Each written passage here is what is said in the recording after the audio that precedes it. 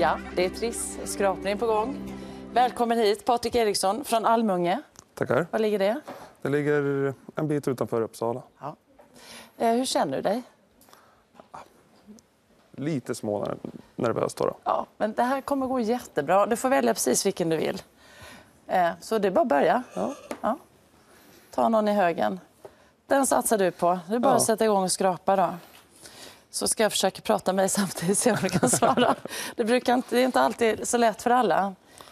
Men skrapa på du så eh, pratar jag i alla fall om att du är då... Varsågod skrapa. S- sopgubbe säger du, men så heter du inte längre väl? Nej, jag vet inte riktigt vad jag ska kalla, kalla det, men det är avfallshantering i det stora hela. Avfallshanterare. Ja. Kör runt med bil alltså. Ja.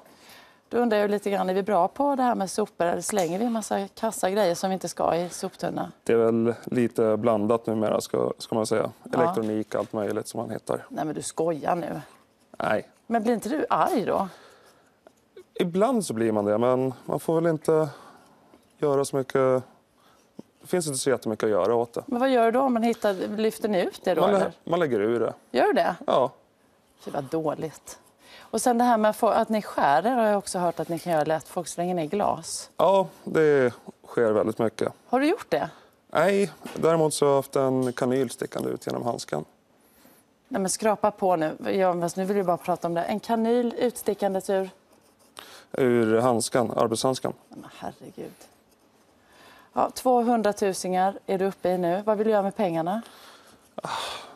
Just nu så vet jag inte riktigt vad det kommer att bli, men Men din bil har gått stod- sönder det hörde jag stod- rykten om. det stod tidigare att det var en bil och det det är för att den har gått sönder. Som, Ja. det är framför allt det just nu. Men det är inte själva sopbilen som har gått sönder? Nej, det är privatbilen. Privatbilen, fy vad tradigt. Men du kanske kan få pengar.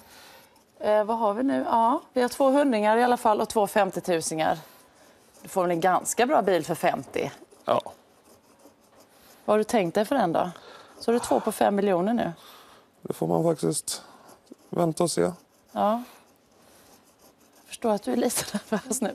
50, nej, 250 000 har du nu två stycken. Patrik, hur ska det gå?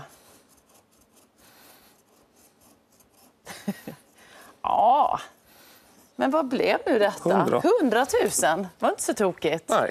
Nu höll jag ju på att kasta mig över och krama dig, men det har jag fått lära mig att det får man inte. Så jag säger grattis så här. Tackar. Stort grattis. Lycka till.